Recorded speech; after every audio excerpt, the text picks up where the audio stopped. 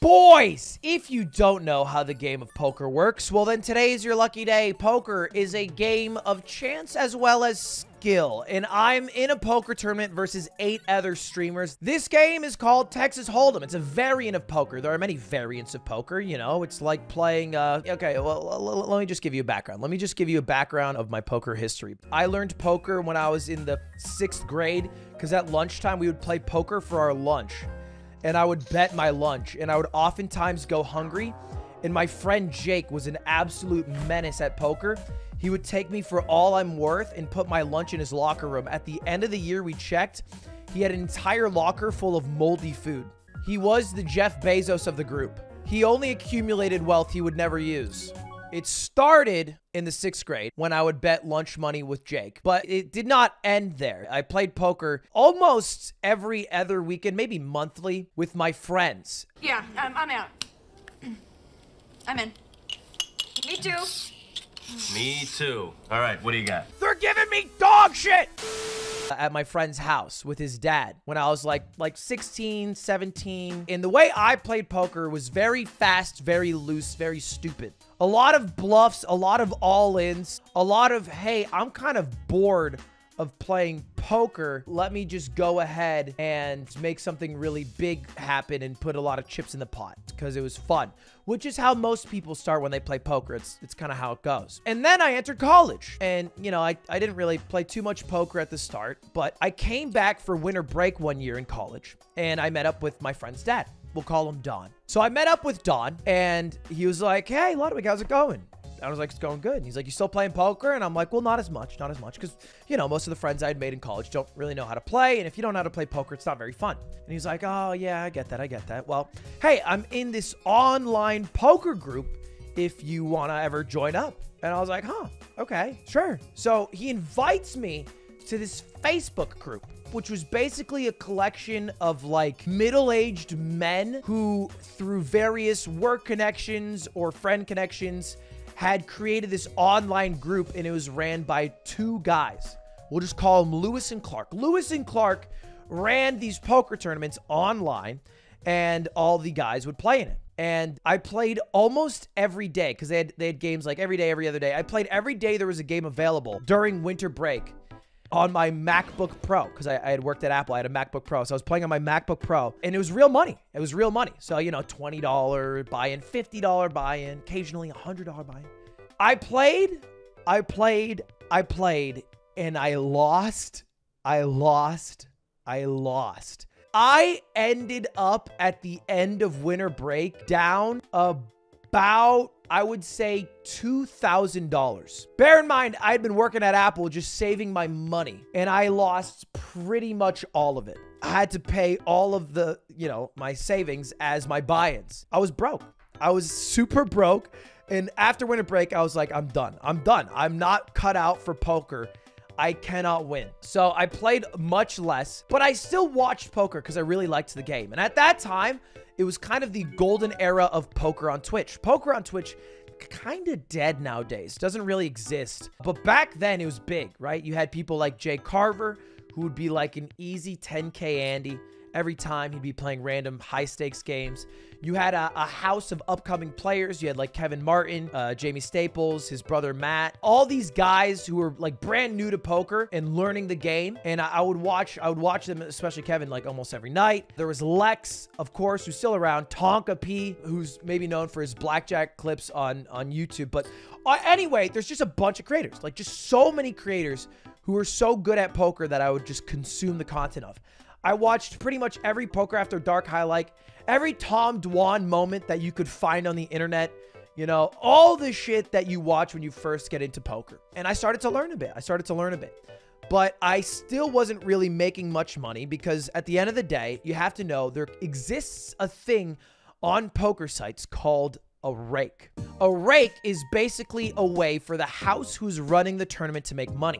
If you've ever read or watched the movie Molly's Game, you'll know that Molly, a person who ran tournaments for big celebrities in Hollywood, eventually ended up taking a rake in these games, which is illegal. It's not illegal to run a game. That's fine. That's fine. You can have people go to your house and play poker. That's fine. But to have people play a game and then take money, you are operating an illegal gambling ring.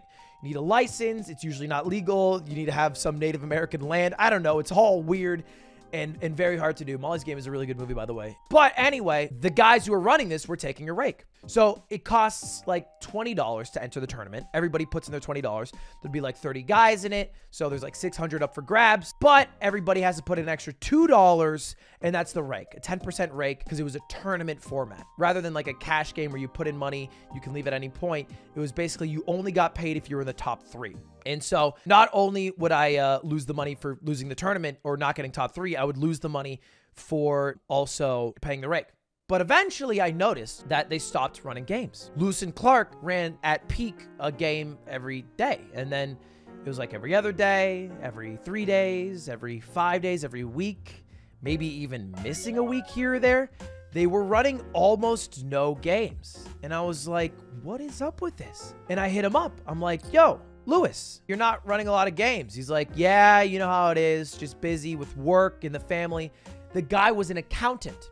If you don't know, accountants are like really hardworking people for six months of the year. And it is the moment tax season rolls around. I don't exactly know tax day because I. but sometime in April, apparently, people need to pay money to the government. And that's when accountants really have to get to work. And so he couldn't run as many games. And I was like, oh, that's a shame. Well, a few days after that, he hits me up. He's like, hey, Ludwig, you're in almost every one of our games. And you're like a really free time guy because you're college student. Do you want to help run some games? We will give you 50% of the rake for any game you run, and we will let you enter one game for free every week. You can come up with all the games, how much money it is, advertise it, all that stuff. This is the arrangement. So basically, he got 50% for free. All he had to do was just have the connections of the Facebook people. So I was like, yeah, you know, it's a pretty good deal for me. It's a pretty good deal for you. Let's do it. So I do it. I eventually start running some games. And you know, at first, the site had kind of died out a bit. So we had maybe like, you know, in general, a table of poker caps out at nine people. That's usually the most you'll ever want. We barely filled up a table at the start. I mean, maybe seven, maybe eight people. There was like 60-ish people in the table, but barely had many people on the on the actual server. And I was like, damn, this is a problem, you know? So I'd be running these games and almost no one would be in them. So I was like, how do I fix this problem? I decided to come up with basically the same marketing strategy that made Uber so big at the start a referral program. You know, you bring somebody in, I will let you enter one game free, which was kind of a big loss at the start. But if you're bringing one person in, then usually that will cover the costs. It kind of worked itself out, and the site slowly grew. And we went from running like two games a week with eight, nine people to running literally one game or maybe back to back games every single night. I would have to leave anytime I was hanging out with somebody at like 6:30 sharp to go run my 7 p.m. Uh, poker tournament with all of the boomer old men. And I started jacking up the stakes too. Back in the day, it was like $20 plus $2 rake. And I was like, well, I get more money if the rake's higher, and they'll be more excited if the tournament's higher. So I was like, let me just run some like $50 tournaments. Let me run some $75 tournaments. Then I got thinking, let me run like a, like a Ranbat system. Let me run a system where, hey, if you enter enough, you can do a point system, and then we'll do like a $1,000 tournament at the end of the month that you get to enter free. And then I started adding some like 100, 150, $200 tournaments. And this all got really, really high stakes. And all while this was happening, you have to bear in mind, I was also able to enter one tournament a week for free, but I was able to pick the tournaments. And I also ran the tournaments. So I would sneak in like a $200 entry tournament. I would enter completely free.